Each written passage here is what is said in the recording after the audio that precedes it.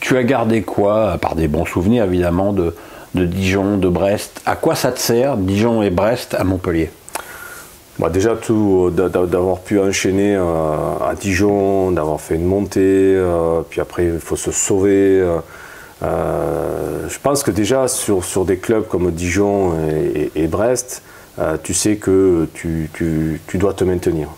Et je peux te dire qu'au quotidien, euh, c'est difficile. Donc ça, tu te forges mental déjà. Hein, parce que là, tu peux être vite en difficulté.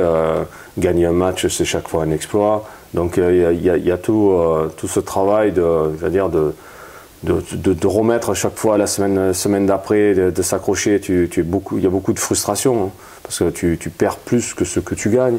Donc, euh, en termes de mental et de se remettre en question, ça, ça, ça, ça t'amène, ça t'amène un plus. La fin de saison de Brest l'année dernière était difficile. Ouais, Vous fait un super début. Ouais, Et la fin. Euh, bah, on, a, on, a, on a eu d'énormes difficultés sur la fin. Euh, c'était point par point, j'allais dire mètre par mètre.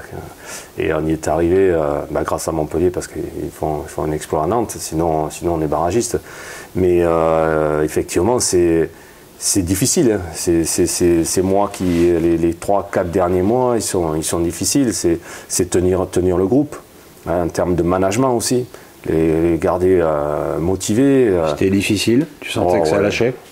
Mais par moment, en fait, voilà, c'est euh, par moment. Et puis il faut que les joueurs ils adhèrent aussi, qu'ils restent euh, sur, sur, sur, ton projet à toi, euh, voilà, sur, sur, la manière dont on va, on va se sauver. il, faut, il faut garder, voilà, que, que, les garçons soient toujours au taquet, quoi, voilà, les maintenir, parce qu'il y a aussi du découragement. Et puis celui qui joue pas, voilà, c'est la fin de saison, commence à gamberger, voilà, c'est, tu, tu, tu, en perds aussi un petit peu, tu perds des gars des fois comme ça. Donc en fait, euh, en termes euh, mental, euh, épreuve, voilà, tu es servi quand même sur, sur, des, sur des saisons comme ça. Tu avais un an de contrat encore à, Brest. Et quand tu vois comment tu t'en es sorti, tu t'es dit il faut que je m'en aille? J'ai eu des, j'ai eu des, approches de, de clubs. Strasbourg Oui, il y a eu quelques clubs qui, sont, qui, sont, qui ont tapé un petit peu à la porte.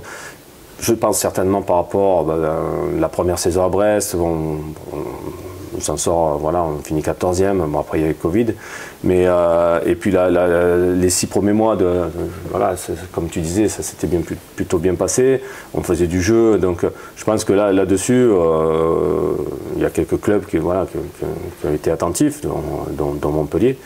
Euh, et, surtout, il faut dire qu'à Brest, ça fait mm. partie des clubs où la ferveur du public est importante. Ah oui. Ah oui. Et le fait de jouer à huis clos, c'est plus pénalisant à Brest qu'à Monaco. Ah, exactement. Ça, c'est sûr que ça ne nous a pas aidé.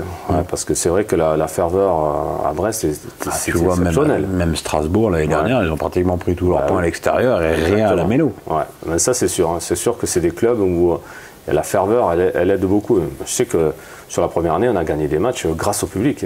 Hein. Parce que quand tu rentres, tu as, cette proximité avec euh, les gens, il y, a de la force quand même, de l'énergie.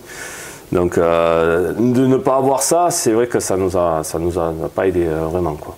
Mais après, bon, écoute, euh, comme, comme, tu disais tout à l'heure, il y a eu, j'ai eu des propositions et en fait Montpellier, voilà, pour moi, c'était, c'est quand même quelque chose d'important. Bah, tu, tu es Sévenol, tu es pas loin. Oui, je suis pas loin, moi les montagnes derrière, hum. je suis de là-bas. Donc pour moi, c'est un, un, club important. Donc le discours de le président était quand même euh, très écouté de, ma part. Alors ce qui est drôle, c'est que donc que le, club a été entraîné 4 ans par Michel Derzakarian mhm. et que c'est lui qui t'a remplacé à Brest. Ouais, on a fait le chemin inverse. Où tu vois que finalement mhm. Brest continue à, mhm. proposer du jeu, surtout sur les, les trois derniers matchs. Et euh, c'est peu dire qu'avec Michel vous êtes différent. Oui, en termes de caractère. En termes de, caractère. Mm. Tu, euh, c'est quelque chose que tu as eu, tu dis, j'arrive derrière quelqu'un qui a un caractère assez volcanique, mm. moi je suis très apaisé. Mm. Euh, est-ce que tu as eu peur que les joueurs euh, ronronnent, se disent Ah bah tiens, on va avoir un peu la paix, on va pouvoir dormir sur notre coussinet Tu sais que je suis un faux calme, hein, en fait, oui. quelque part. Donc j'aime bien prendre du recul, j'aime bien analyser, j'aime bien écouter ça c'est sûr. Après, quand j'ai décidé que je sais, ben, comme tu dis, hein, je suis un côté Sévenol, donc après je sais ce que je veux et je, suis assez direct après, je dis les choses.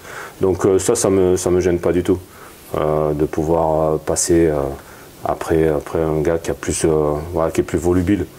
Mais je pense que peut-être les joueurs aussi, de temps en temps, ils aiment bien passer sur autre chose. Voilà, c'était sur euh, le discours est différent, il est plus, plus posé effectivement, mais bon. Moi, vous échangez avec Michel parce que c'est rigolo. Eh oui, oui, non, on n'a pas eu l'occasion euh, ni de se rencontrer ni d'échanger par rapport à ça. Et ça, peut être quelque chose d'intéressant parce que c'est bien de voir aussi. bien sûr que moi, je, je pense que lui aussi il me suit, mais on se suit. moi, j'aime bien voir les compositions qu'il a, qu'il a fait parce que son effectif, c'est pratiquement, pratiquement le même, hein, de, trois joueurs près. On a parlé du gardien, etc. Et euh, de voir comment, comment, euh, à qui il a fait confiance au départ, qui l'a levé maintenant, qui l'a remplacé. Ça, ça m'intéresse pas mal. Et puis de voir comment il a, il a, il a fait évoluer l'équipe. Et euh, ça ne m'étonne pas aujourd'hui qu'il commence à avoir des résultats. parce que parce qu'en fait, c'est une, équipe, l'équipe de, Brest, il y a des, joueurs de talent, des, des, joueurs qui se sont aguerris la saison dernière aussi. Et euh, c'est une équipe qu'il faut, qu'il faut mettre en ordre, en ordre de marche un petit peu. En fait, euh, là, c'est ce qu'a fait, ce qu'a fait Michel. Quoi. et euh, il a trouvé cet équilibre-là avec des joueurs comme Mounier qui, qui, ont de la taille et puis des joueurs qui. tu remarques un truc, à chaque fois que Brest gagne, Mounier marque. Ah oui, bah oui. Donc euh, bien quelque chose. Le Mounier, un ancien de, Montpellier aussi. très fort de la tête. Très très bon joueur de tête, ouais. mais après un très bon état d'esprit aussi.